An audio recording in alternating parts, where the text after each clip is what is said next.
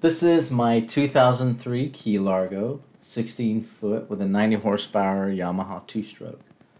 I will show you how I dealt with maintenance to the fuel tank. I traced the problem of the engine not getting fuel to where the fuel pickup line goes into the gas tank. It had broken at the elbow and while trying to repair that, the breather tube broke as well. Underneath the center console is a very small access panel that gives you access to the top of the fuel tank. However, it's it's a very small area to work, so I went ahead and took off the whole center console. Here you can see in the red arrow where the broken elbow is. I tried to unscrew the, the this elbow, but it just disintegrated, so I knew I had to drill into the tank. That was when I decided to remove the tank. So in order to remove the tank, you actually have to cut into the deck, which is what you see here. I didn't want to cut too large of an area. Just enough to be able to remove the tank. So then I, I made this contraption so I could uh, basically hoist the, uh, the tank out of the floor because it was tight. It had been in there for a long time and it was wedged in pretty well, but this uh, come along worked perfect. So here you can see the tank slowly coming out. I was able to remove the fuel sender plate and then hook the hoist into that circle in the gas tank and able to wedge it up like that. It was a very tight fit because I, I didn't want to cut more of the floor than I needed to because it would be less repair putting it all back together when I was finished. And here's the tank completely out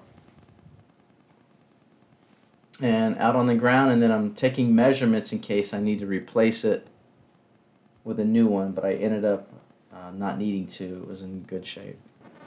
I did look around just to see how much one of these tanks would cost and I couldn't find one with these strange dimensions. So as you can see this two small holes I have to ream them out because they completely broke off so this is me using a Dremel tool to clean the inside of the old fitting. These are the new parts, the collars and elbows that I purchased at Ace Hardware. And I also purchased a new fuel pickup from the local boat store. This is the collars being pre-fitted. And then I'm, I glue it with a JB Weld plastic bond bonder. And this is the finished product. New gasket on the fuel sender and everything's taped off ready to go.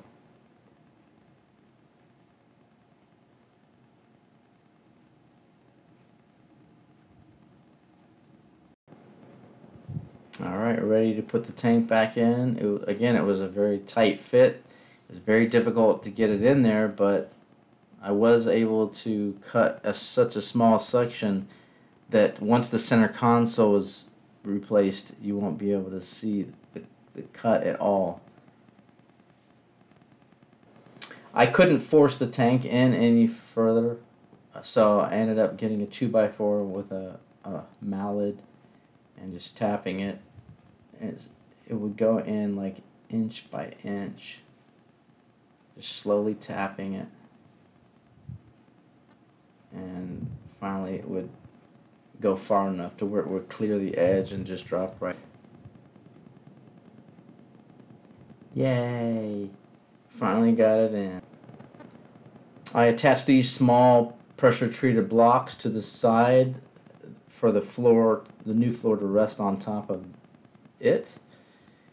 And then I put the floor on top, screwed it down, and then I gave it a, a nice coat of white paint.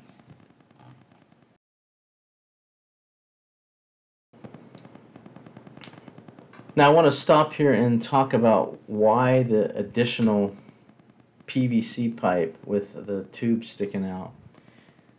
I, had wanted to do a project to this boat for a long time, about 10 years, and I, I'm finally able to do it while I'm doing this whole project at the same time. It's just going to make it a lot easier I've always noticed that while fueling this boat, either at the pump or with the gas can, it would always be slow to fill.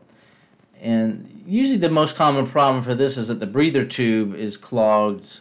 uh, But I checked that a long time ago and that wasn't it. So after much research, I discovered that this is a common problem on this particular boat and that the design of the fuel filler tube starts at the rear and runs parallel with the boat for about eight feet until it reaches the fuel tank. So here's a picture of the old filler at the the rear part of the boat. So then I thought, I wonder what would happen if I put the fuel filler on the side of the center console so there would be no restriction with the gas filling the fuel tank. And so that's what why you see that extra tube there. Uh, I coated everything with this fiberglass and resin. And that was about all I did because it didn't need to be pretty.